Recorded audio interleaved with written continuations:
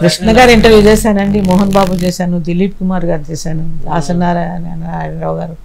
ఆయన పేపర్లో కూడా ఇంటర్వ్యూ కోసం? టైం అనే లేదండి ఎంతసేపు మాట్లాడినా మాట్లాడాను గంటలు నేను దిలీప్ కుమార్తో మూడు గంటలు మాట్లాడానండి.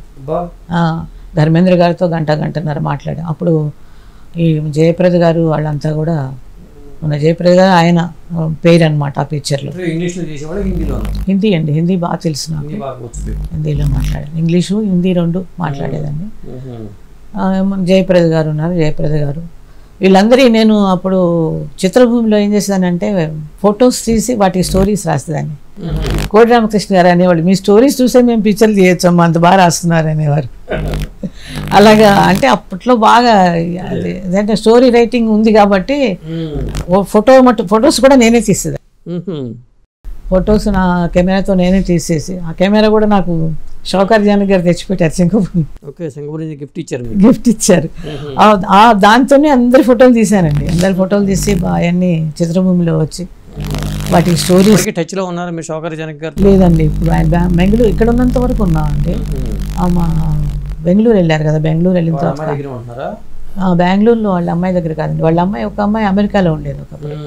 నేను అమెరికా వెళ్ళినప్పుడు ఆ అమ్మాయిని కలిశాను. ఓకే. అమెరికా వెళ్ళినప్పుడు ఎంతమంది షోకర్ జనక్ గారికి పిల్లలు. ఇద్దరు ఆడపిల్లలు ఒక అబ్బాయి. అబ్బాయి బెంగళూరులో ఉంటారా?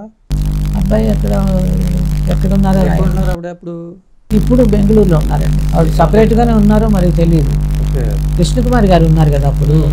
ఆవిడ ఉన్నప్పుడు అక్కడికి వెళ్ళినట్టున్నారు అది అక్కడే సెటిల్ అయిపోయారు. ఇక్కడ సెంట్ ఆఫ్ రోడ్లో ఉండేవారు. రెగ్యులర్గా కలిసేవాళ్ళం ఇక్కడ ఉండగా.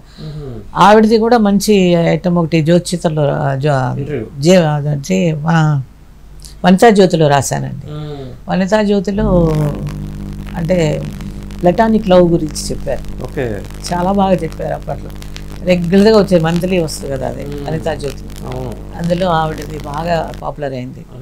అలాగే నావెల్స్ కూడా చాలా వచ్చినాయి. అమలని శృంగారం అని. పేరుతో కొన్ని వచ్చినాయి. తర్వాత మన చిత్రభూమిలో కూడా నేను దాదాపు ఒక సంవత్సరం పాటు సోమను క్వశ్చన్ ఆన్సర్స్ తర్వాత బాలకృష్ణ గారి క్వశ్చన్ ఆన్సర్స్ చిరంజీవి గారి. చిరంజీవి గారి కూడా మంచి మంచి ఐటమ్స్ రాశాను. అవన్నీ బాలకృష్ణ గారు అంటే వాళ్ళ ఫ్యామిలీ ఫ్రెండ్స్ లాగా ఉండేవాళ్ళు. అంతా పిల్లలంతా కూడా బాగా తెలుసు. వాళ్ళ అమ్మాయి లోకేశ్వరి గారు. అడిగొండ్ల వారి అమ్మాయి అంటే మన అమ్మాయి అనుకునేవాళ్ళేమో మన అమ్మాయి అనే ఫీలింగ్ ఉండేదండి. ఆయన్ని శోభన్ బాబు గారు అలాగేనండి. ఎంత బాగుండేవారో పాపం. అందరితో అంటే నేను పోగానే ముందు నాకు కొంచెం ఎక్స్ట్రా అటెన్షన్ ఇవ్వటం కొంచెం మిగతా వాళ్ళకి కొంత ఇదిగా ఉండేది. బట్ ఆడపిల్లలు కాబట్టి ఆ అడ్వాంటేజ్ ఉంది నాకు అనేది వెళ్ళగానే చైర్ వేయించి కూర్చోబెట్టడం అదంతా కొంచెం మిగతా వాళ్ళందరికీ చైర్ సరైన చేయలేరు కదా. ఒక్క ఆడపిల్లలు కాబట్టి నాకు అది అలా రెస్పెక్ట్ ఇచ్చేవాళ్ళు. మ్మ్హ్మ్.